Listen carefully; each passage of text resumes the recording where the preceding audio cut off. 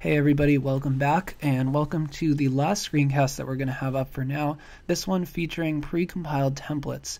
Um, so it might be the case that instead of loading your content internally um, and using dynamic content within Roots, you may actually have an API that you're trying to hit up to get your content back. For example, I work at the most wonderful company, Carrot Creative, and we have an API to display information about our staff.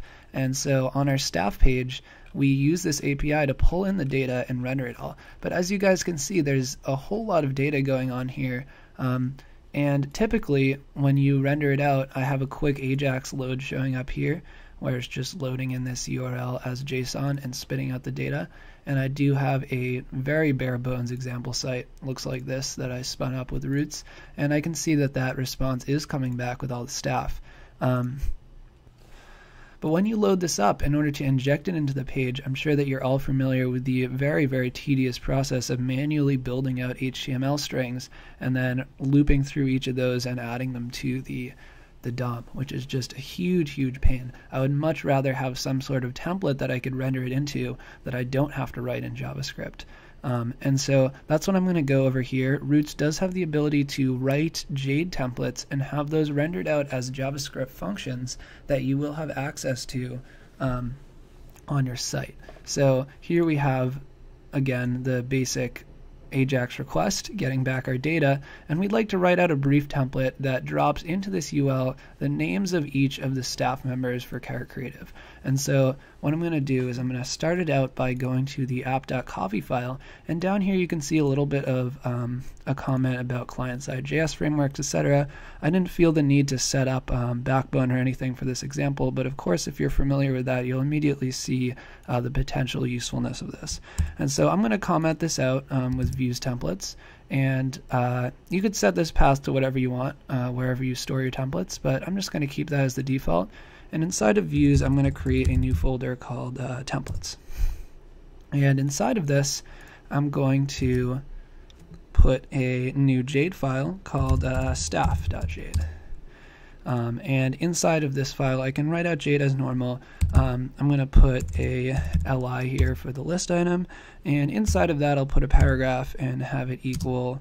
Um, let's see, what do we want? So we're going to loop through each of these staff members and pull out the name specifically. So let's have it render out a name here.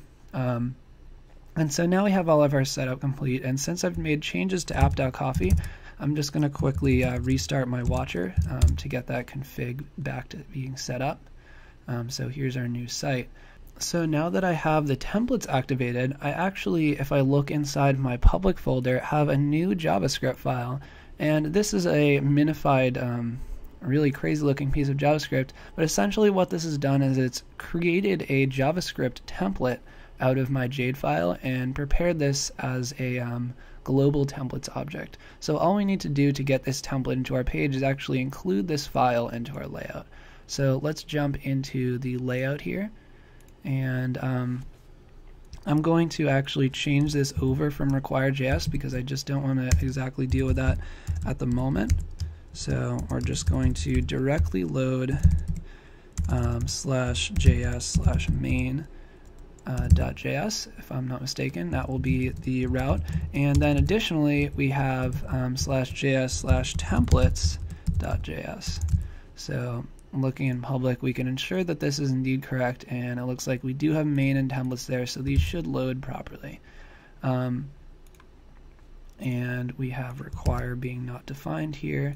Um, not a big deal. All we need to do is make a quick change here, um, get rid of this require piece, and we do need to manually include jQuery as well. So here's, um, as, as bonus content, a brief demo of how to transition from required back to just normal JavaScript includes. And so here we have a, a jQuery error, which we knew that we would get, and we do indeed know how to solve this.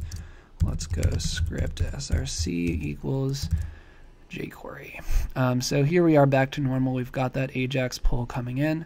Um, and now we should have a variable called templates available at the window level.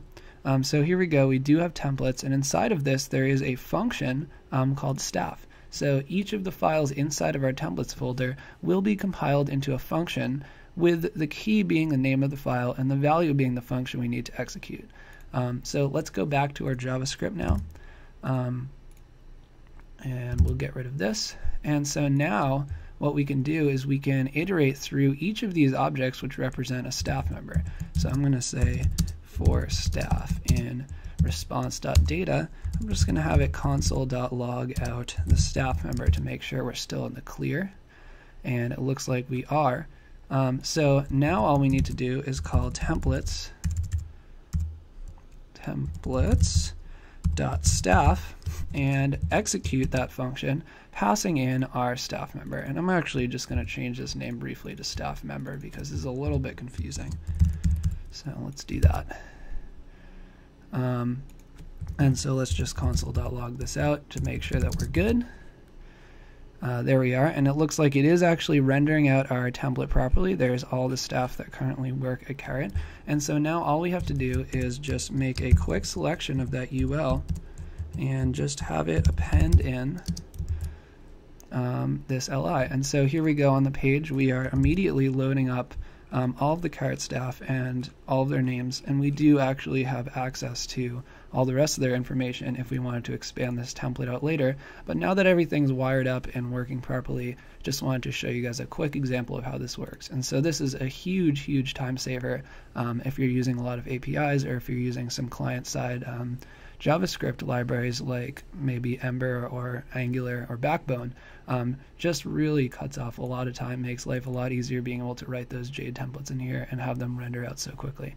So that's all I wanted to show you for this one. I hope that's helpful and thank you guys for watching.